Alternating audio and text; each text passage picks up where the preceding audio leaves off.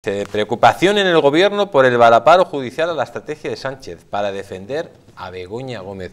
Señor Cebolla, si el gobierno, lógicamente, tiene que estar muy preocupado porque decían que era una querella falsa, que todo era fango, etcétera, etcétera, y ahora ya no es el juez peinado, sino la audiencia de Madrid, en dos ocasiones, en dos ocasiones, con eh, este tema que había recurrido Camacho y el fiscal, y con el tema de la otra querella que pone a oír, eh, diciendo que hay casos, que hay indicios, que hay pruebas y que se tiene que investigar.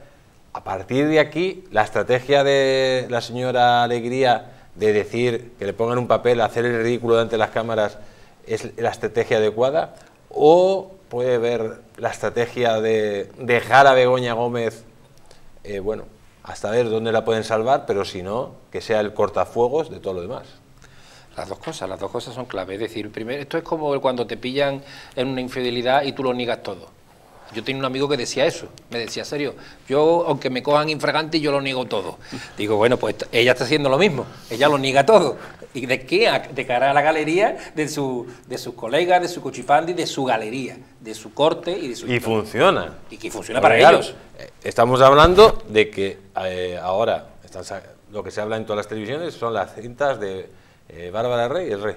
Eso es. Eh, que curiosamente sale a la palestra y, bueno, es como si sacan los amoríos ahora de Don Juan o de, o de Alfonso XIII. O sea, eh, ¿a quién carajo le importa eso cuando está el país al borde del Cortina de humo todo cortina de humo y esta, esta resolución de la, de la, audiencia es muy importante porque acota la investigación y respalda al juez Peinado. Y esto no le interesa al gobierno eh, que se sepa y primero miente que algo queda, que es la estrategia de ellos, mentir que algo queda y después de cara a la galería para que la versión que ellos escuchen sea la que les interesa. Entonces, efectivamente, el calvario judicial que le espera a Gómez es grande. Un respaldo muy, por otra parte, muy, muy claro y muy contundente.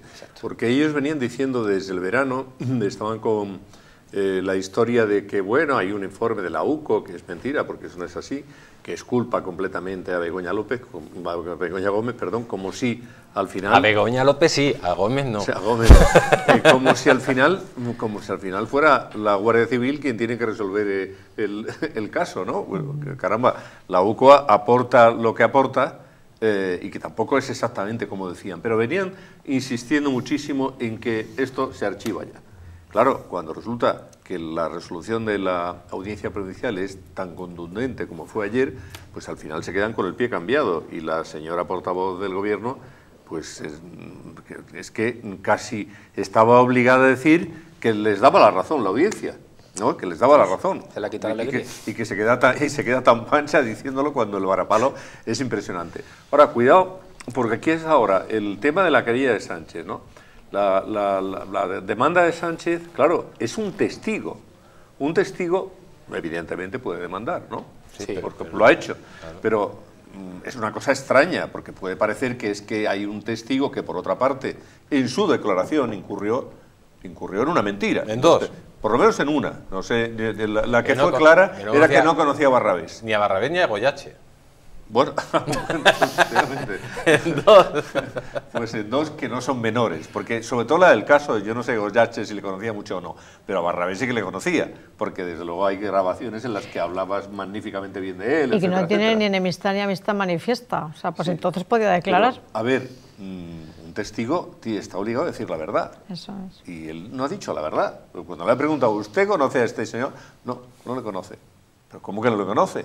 Si resulta que hay grabaciones en las que usted habla magníficamente bien de Barrabés, etcétera, etcétera. Y además, ah, el propio Barrabés dijo que se reunió con usted en la Moncloa y con... Pues, en fin, digamos que eso sería, en, principio, un dato inculpatorio para el propio testigo, por muy presidente del gobierno que sea.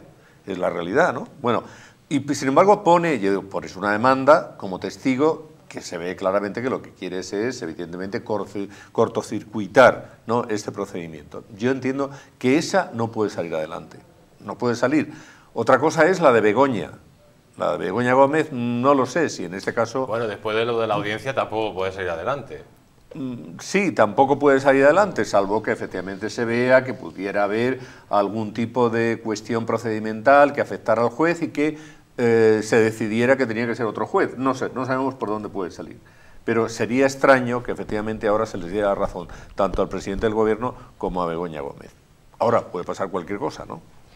Bueno, y que, eh, hay una parte que quizá al gobierno no ha sorprendido tanto, y digo porque, porque en este caso hay unos autos de julio de este año de la Audiencia Nacional que precisamente eh, en el caso Danco, que está imputado un empresario libanés, eh, Noel Jamal, con unas adjudicaciones millonarias también por parte del Gobierno de Canarias, siendo Ángel Víctor Torres presidente, actual ministro de Política Territorial, alegaban precisamente investigaciones prospectivas, temas de prensa, que nosotros precisamente es un caso que habíamos tapado en el cierre digital y aquí en esta televisión, y entonces presidente de la Audiencia Nacional le dice, no señor, no vamos a archivar nada y damos vía libre a que la Fiscalía Europea, que está en fase de investigación, como el juez Peinado en el caso Begoña, siga adelante su trabajo y ya veremos.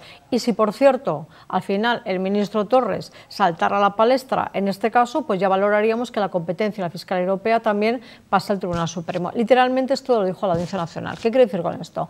Que el auto de la Audiencia Provincial de ayer tiene una unicidad de criterio jurídico, la Audiencia Nacional y la Audiencia Provincial. ¿Por qué? Porque ambos están diciendo de investigaciones prospectivas nada, de noticias de prensa nada, vamos a seguir la línea conductora de ambos eh, procesos judiciales en marcha en fase de instrucción y vamos a ver hasta dónde llega. Es decir, la Audiencia Nacional y la Audiencia Provincial, no sé si se han tomado café juntos y han llegado al mismo criterio jurídico, pero está claro que han usado la misma argumentación para seguir ambos casos que están en este momento en fase de investigación y con imputados en ambas causas que las dos afectan al gobierno de Pedro Sánchez. Un ministro y su mujer.